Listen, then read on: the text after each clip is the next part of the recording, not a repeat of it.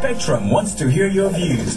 You can Anytime during the show, type Spectrum, leave a space, type in your contribution and name, then send it to 7197.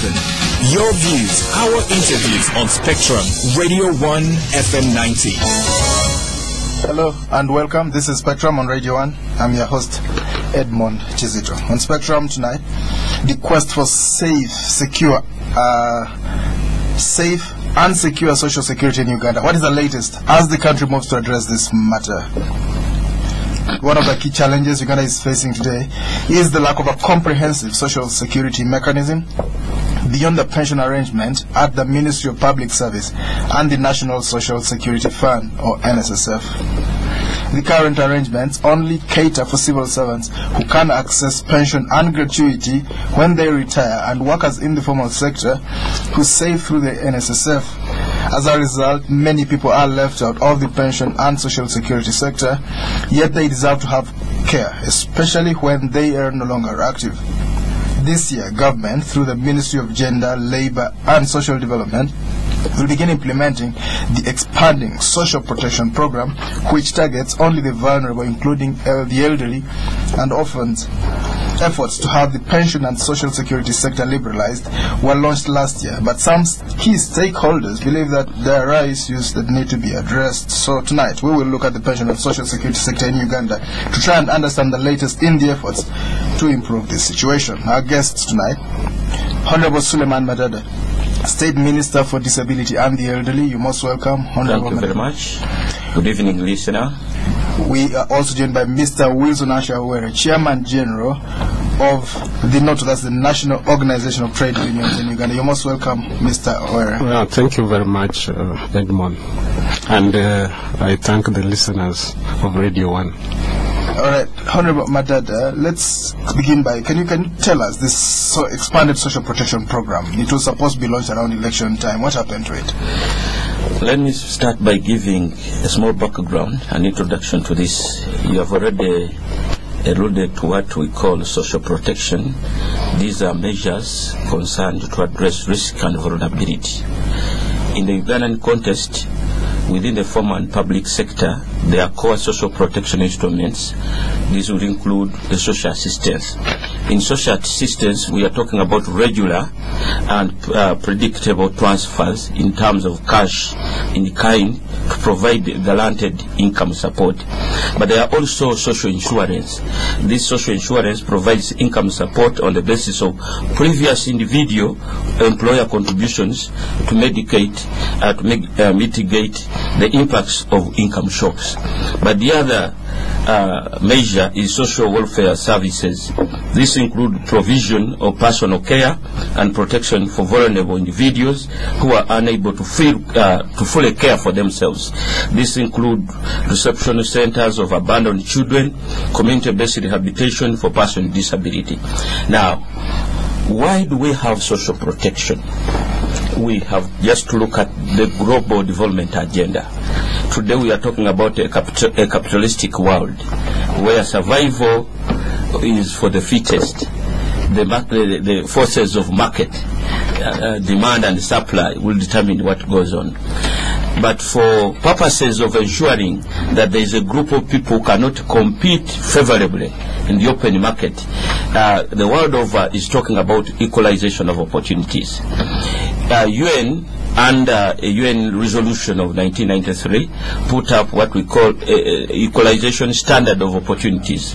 When you come to the Uganda's contest and our development objectives and directive principles of state policy, you look at uh, the right to development as one of the issues and they're talking about government has a responsibility to put in place legislation and conducive environment favorable to benefit out of the development agenda. So what happens the Ministry of Gender, Labor and Social Development, one of our key areas in our mandate is to ensure social protection, that is to protect the rights of the vulnerable groups, including the uh, women, children, orphans, elderly, and all other categories of the vulnerable groups. Now, we have been trying to have interventions uh, to make sure that everybody uh, enjoys the development arena. But there is a certain category of people who are chronically poor. And what do we mean by chronical, uh, being chronically poor? About 20% of the households in Uganda are living below poverty line. And 26% of the total population are chronically poor people. That is about 7 million people. So you talk about poverty, but they are also chronical poor.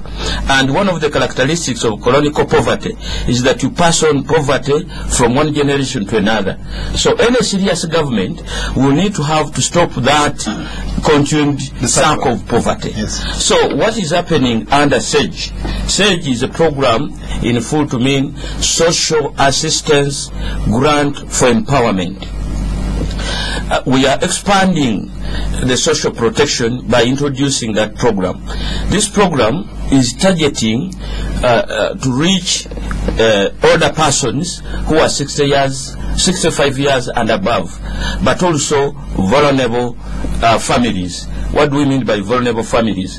Family, families that have are headed by children you have a family where the head of the family is uh, below 18. But you have also families headed by people with multiple disabilities. These people are likely not to benefit from government interventions to address poverty. Why? The, most of the government interventions to address poverty are targeting the active poor. What do I mean by active poor? People who are still able to work. But there are people who cannot even work, even if you put money in the circles, in programs of Bonna Bagagawale Prosperity for All, you introduce programs like UPE, that is one also an intervention of uh, social protection. But you get a grandmother who has a child who cannot afford going to school despite the free education because of lack of uniform or above soap to wash uh, this uniform. So, as a ministry responsible for affirmative action, after a number and a thorough study, we came out with what we call SAGE. Here we are targeting, already I've told you, older persons 65 years, 65 years, 65 and above. And we'll be giving them 22,000 monthly Every month. every month. Yes. And households that have those categories of persons I've talked about, the orphans heading families, the widows, uh, person with the multiple disabilities. And of course the question would be, how would be the selection? How did you reach at this level? And we are beginning with a pilot. We are not moving the whole country at large. We are beginning on second this next month, next month, September, and we are going to begin the districts of Kaberamaido, Kiboga, and Kyenjojo. The launch here is going now to uh, demonstrate what we've been planning all along. We are going to be giving money cards to the beneficiaries. We have already identified the beneficiaries, and they will be receiving money for the first time in their life. Of course, the other challenge people will be talking about is that we are now introducing handouts, and people would make people lazy. We've had such. But these are above 65 already. Yeah, they're above 65. Not only that, but even children who are not even in the productive sector. Right. So we are targeting people who are not in the productive sector, but those who are supposed to be cared for. I've already told you that in our population there is a lot already a growing gap of inequality because of the capitalistic tendencies, and you cannot do it away unless you have some other interventions. As we talk today, of the 20, it is only 20% of the population, the richest, are holding about 45% of the riches of this country. And of the 20% of the poorest are only holding about 0.9 something. This is very dangerous to this country. So we have to address that growing inequality. And when you define today what you call poverty, it is not merely talking about issues of levels of income, but we are talking about all issues of exclusion. So what we are doing is to exclude everybody in the development arena. So this is what is being planned, and we are not encouraging any laziness, but we are targeting a population that even if these programs were there, they would not be benefiting. Secondly, this is one way to address issues of poverty. First of all, these older persons and those in needy families have to depend on those working population, people who are working, by providing for them will will relieve you of a burden to continuously be serving this type of population. That's one way. But it also it is also an economic stimulant because you are now managing to give somebody purchasing power to be able to go to the market and get something. Therefore, the markets are created. We have looked at this elsewhere. We've gone out elsewhere. We have looked at Lesotho. We have looked at Zambia. We've looked at South Africa. We've looked at many African countries who are really getting out of this and they are making a change in their life. So this is the type of program that we are coming out with. And we want to call upon all Ugandans to embrace this program because many times uh, people begin uh, discrediting a program before understanding why this program is here. We are going to get out and want to uh, call upon you, the media practitioners, to help us to explain these issues to the public. This is what we are coming out with. Minister of Gender is not going to implement this program alone.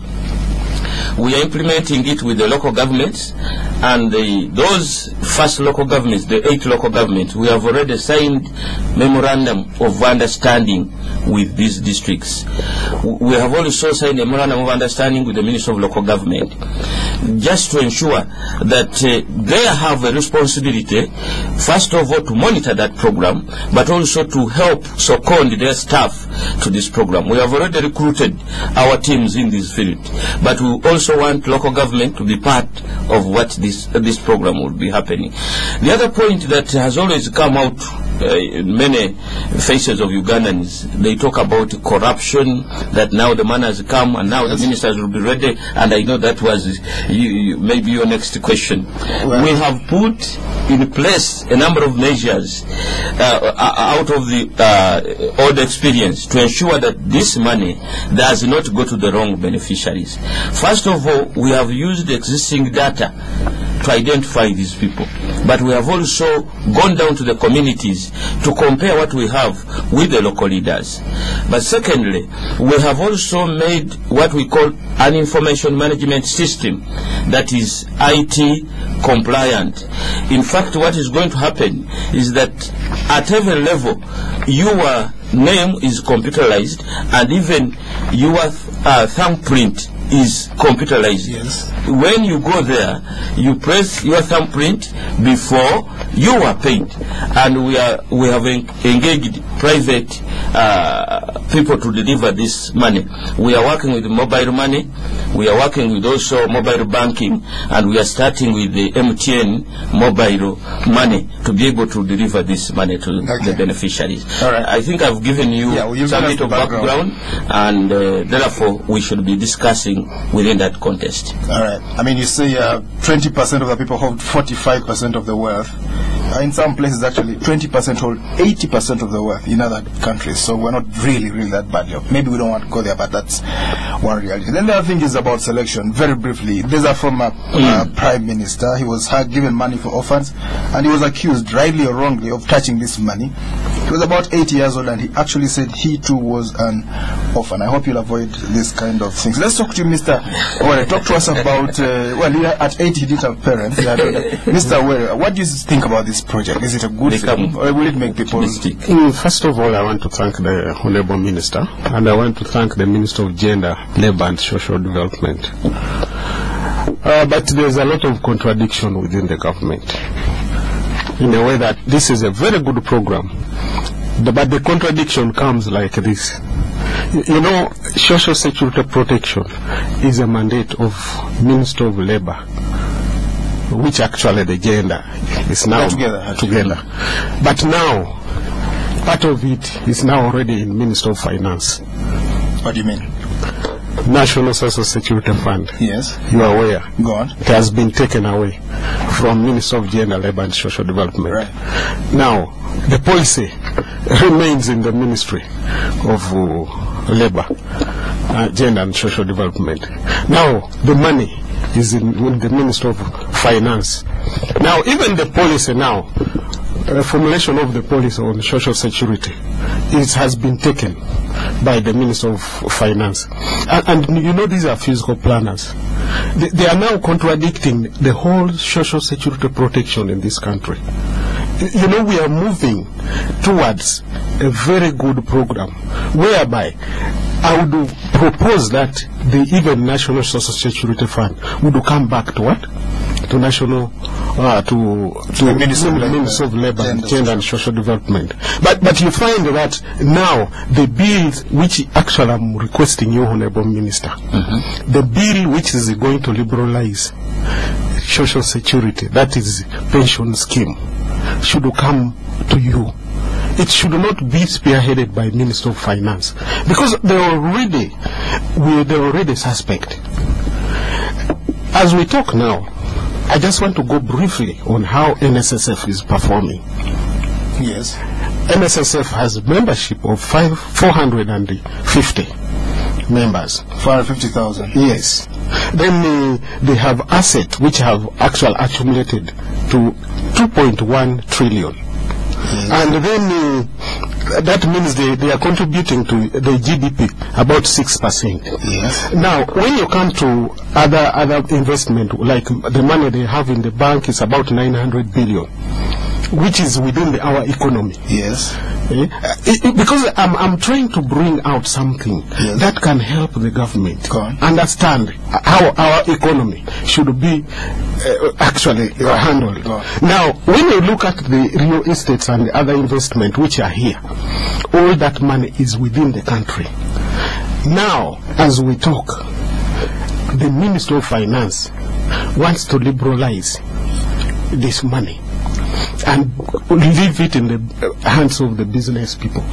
Are you seeing that contradiction? Well, but and insurance companies are private businesses and they've been working. Most times, insurance takes over social Th- security. this is not the issue of insurance. You cannot place people's savings without government guaranteeing this money. So you're against the, the liberalization of the pension We are not against it. We are saying the people who are handling it are not professional in social protection. The. Ministry of Finance. Yes, they are physical it. They should, they should be, even if now they don't take it to gender, but we want Minister of Labour, Gender and Social Development to spearhead that bill. And Honourable Minister, for us as workers, we are saying this bill should come back from Parliament and be discussed with we, we, The stakeholder. The stakeholder. Not with the biggest trade union. Yes. NOTU is a big trade union, but even the workers, the people who are saving this money. Because government is not even, they don't even have a shilling In NSS. in the NSSF. Now, how do you determine my destiny? Without involving me. Right. Are, are you getting my point? Now, another thing is, who will guarantee my money? You, you, you see the, the case of uh, Makerere Yes. and NIC. Yes. Because NIC was a government body, the Makerere people entrusted them with the money. They put the money there. But after the, the, the, the, the NIC was sold to private hand, Yes. they are now getting a very big problem. Now, what is going to happen? It's going to contradict the policy of government, whereby you are saying you are now getting people out of poverty, but again, some people are trying to down to, to play with the policy and trying to put people who have saved for many years, and they want to turn their money from provident fund to pension. Like now, uh, Edmond, you have saved your money. Me, I'm, I've reached, I'm almost uh, reaching time when I'm supposed to get my money in totality. Yes. Now, they are telling me that they will give me 33% And the rest in and the rest in monthly installment. Have they consulted me? You know, these are contradictions which I want Honorable Minister to see. As much as you are pushing to get people out of poverty, to do things in a proper way, there are other people in other ministries who are contradicting the policy. So these are some of the things which I want the minister to know, the whole world to know. With effect from Monday, we are starting a serious campaign. If the government doesn't bring actually the bill down back to us, we're going to take it all. What do you mean? we are saying this is our money. Yes. We have been saving for more, many, many times. That's true. And if you want to liberalize, Then, but they'd better talk to you first. they first talk to us. This is where we are going to resist any form of anybody trying to push us from where we are. We have now got our money. We are now, at least we have uh, got out of uh, poverty. Yes. But if you want to drive us back, we're not going to accept. Right. So, Honorable Minister, we are trying to actually support your policy. But we are also telling you that as much as you are struggling to do that, there's something happening with the Minister of Finance.